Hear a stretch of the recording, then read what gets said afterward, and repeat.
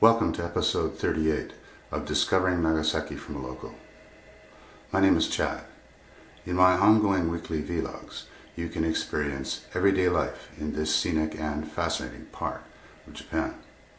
This week, Denise Rollheiser, Daniel Hazen, and Kathy Garrett were able to correctly answer both of last week's vlog questions. Thank you for answering my challenging questions. The first question from last week was, why is there a wire around the field that I plowed with my tractor? The answer is to keep out wild boar. The second question from last week was, how many tories did I videotape myself going under in Omota Park? The answer is two tories. Around our school and cafe there are many types of flowers and fruit trees that have sprung to life recently, like the leaves on this cherry tree, the cherries on this sakurambo tree, the leaves on this banpeiyu grapefruit tree, the leaves on this momiji tree, the flowers on this blueberry bush, the wild rose on this trellis,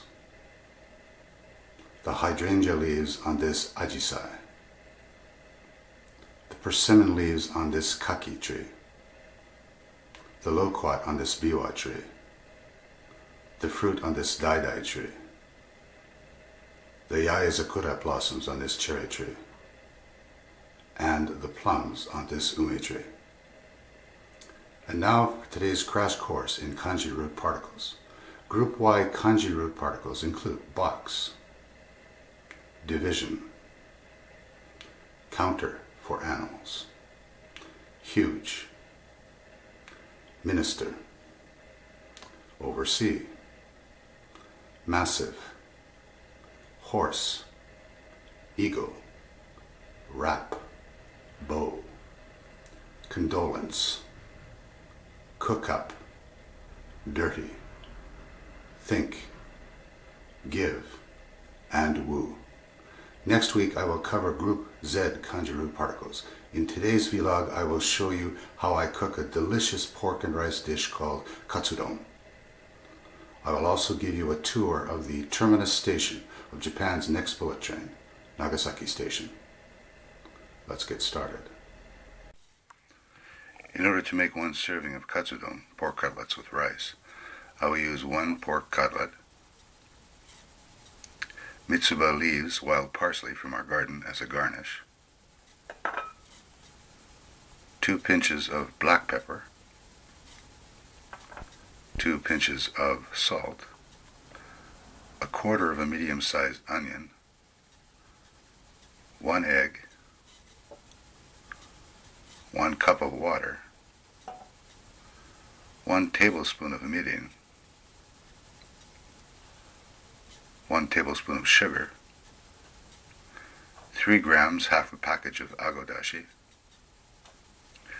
one tablespoon of soy sauce, about one-eighth of a cup of flour, and one-eighth of a cup of breadcrumbs.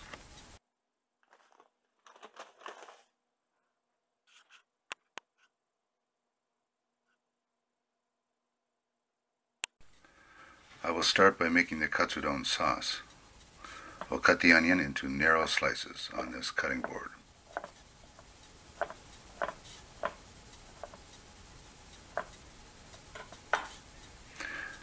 After I add the onion slices to this frying pan, I will add one cup of water,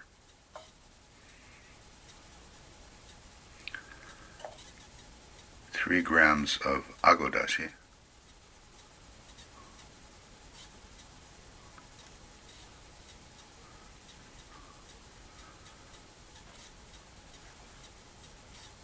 one tablespoon of sugar, one tablespoon of soy sauce, and one tablespoon of mirin. This mixture needs to be simmered for a few minutes after this.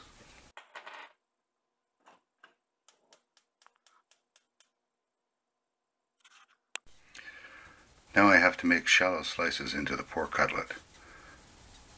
and then tenderize it with a wooden roller.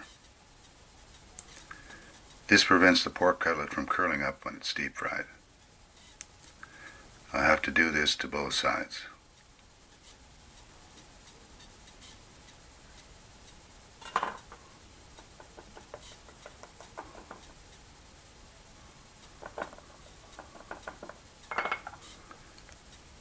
Then I will add a pinch of pepper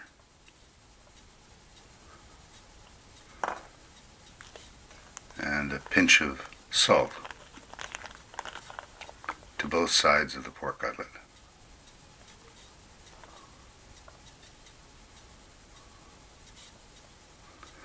I've already mixed up the egg with a fork and put about one quarter of it in this plate with a small amount of flour. I'll now coat the cutlet with egg and then use a brush to apply it an even surface. If you don't have a brush, you can dip the uh, cutlet in the flour by hand.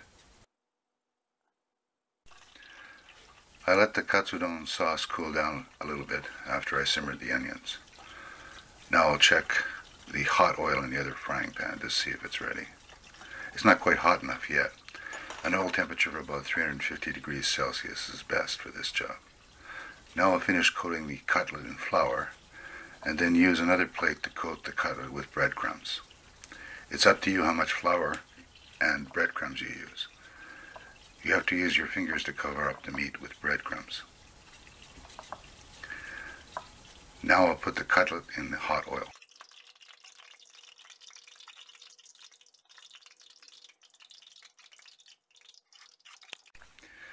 I have been deep frying the pork cutlet for about 8 minutes. I'm using long chopsticks to rotate and turn the cutlet in the hot oil.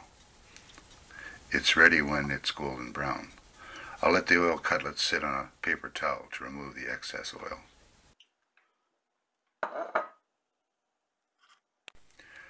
Next to the mitsuba that I have sliced up, I will slice the pork cutlet into thin strips on the cutting board. Now I'll slide these cutlet strips on the onion sauce in the frying pan. On top of the cutlet, I will pour the remainder of the egg I used earlier. I will heat up this mixture in the frying pan for about one minute.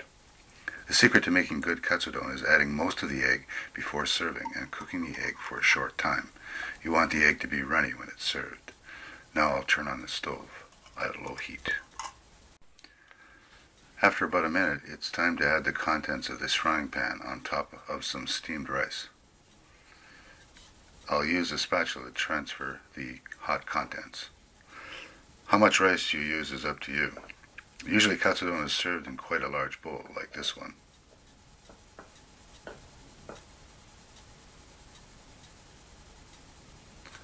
Oops, I missed some of the onions. After adding the mitsuba strips, it'll be piping hot and ready to eat. Quick, easy, and very delicious. I'm now on the pedestrian platform in front of Nagasaki train station. Below me you can see a tram station and a lot of vehicle traffic. As I pan to the right you can see Hotel New Nagasaki and Amu Plaza, Amusement Plaza, shopping center. This pedestrian platform is long and wide and gives you a great view of downtown Nagasaki. This station was originally opened in April of 1905 and it accommodates more than 10,000 passengers daily. It's the 13th largest train station in Kyushu. From inside the station you can see the pedestrian platform and a statue of a Peiron boatsman.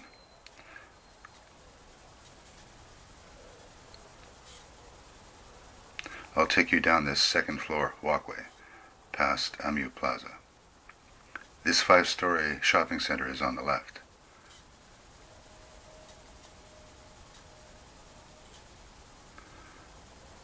As you can see, there is a Tokyu Hands store on the fourth floor of this shopping center and a large number of restaurants on the fifth floor.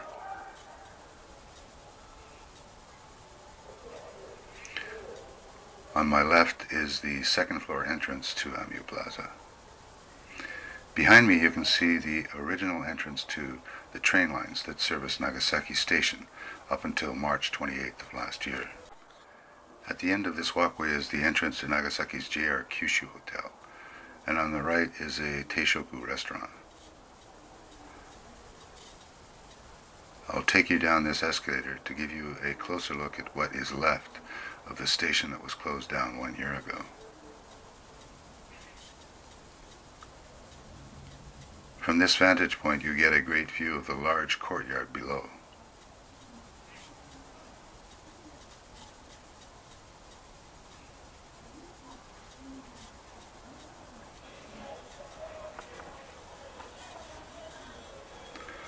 Right is the first floor entrance to Amu Plaza.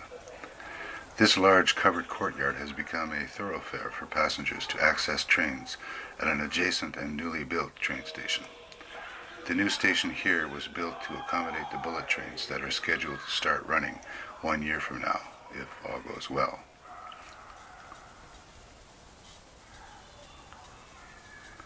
On my right you can see where the previous ticket vending machines were located.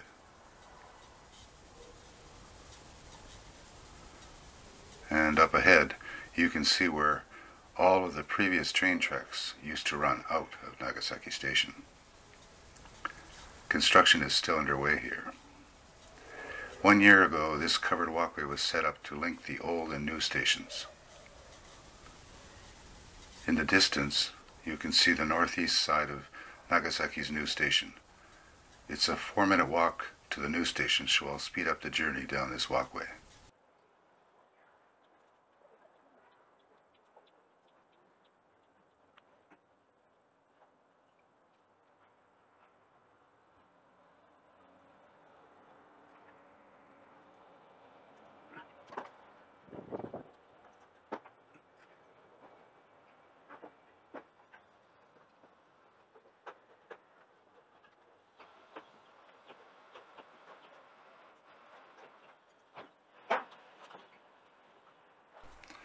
Up ahead you can see the passengers' turnstiles and a tourist information center.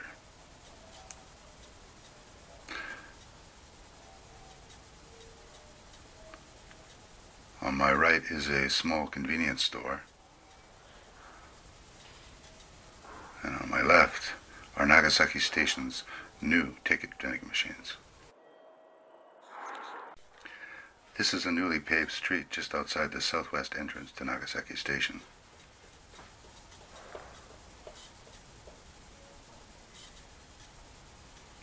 Over on the right is an elevated walkway that is still under construction.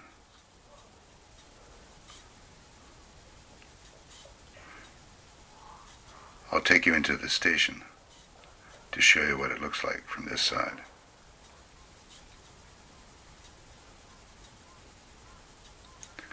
These doors were inaccessible the last time I came to the station. That was back in November of last year. So this is still quite new. On the right is the new Japan Travel Bureau Ticket Center, just beside the ticket vending machines. I've just taken the escalator up to track one.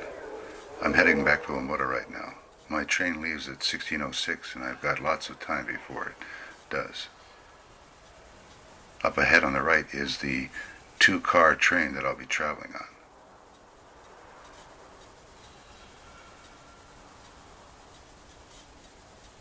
I'll take you to the other side of this platform. On the right, you can see where the track ends at this terminus station. Train passengers can't travel any further south past Nagasaki. This is the view in the other direction.